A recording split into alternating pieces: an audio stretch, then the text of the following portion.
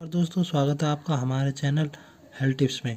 दोस्तों, आज हम बताएँगे एल्बोमार के बारे में। यह दवाई किस लिए प्रयोग की जाती है?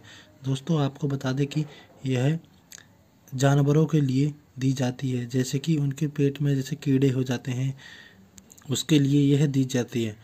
आप ध्यान रहें अगर आप बड़े पशु को देना चाहते हैं तो आप इसे दे सकते हैं और छोटे बच्चे को भी दे सकते हैं पशु को।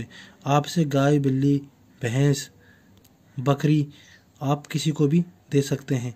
या, याद रखें कि देने से पहले आप एक बार डॉक्टर से ये ज़रूर पूछ लें कि यह कितनी देनी है क्योंकि सब पशु की यह अलग अलग मात्रा में देनी होती है किसी को कम किसी को ज़्यादा। इस बात की सलाह ज़रूर ले लें। देने से पहले आप किसे देना चाह रहे हैं। एल्बोमार्ग एक इसी बात का ध्यान रखें कि इसको आप किसी भी प्रेग्नेंट पशु को ना दें। अगर आप एल्बो एल्बोमार्ग प्रेग्नेंट पशु को दे रहे हैं तो यह नुकसान पहुँचा सकती है। इस बात का ध्यान रखें कि प्रेग्नेंट पशु को नहीं देना। दोस्तों, यह किसी भी स्टोर से आसानी से मिल जाएगी दवाई। किसी भी स्टोर से आप ले सकते हैं आप। पशु नियार नहीं खाता, जैसे कि भूख नहीं लगती, पेट में कीड़े हैं, उसके लिए ये बहुत ही फ़ायदेमंद दवाई है। आप इसे दे सकते हैं।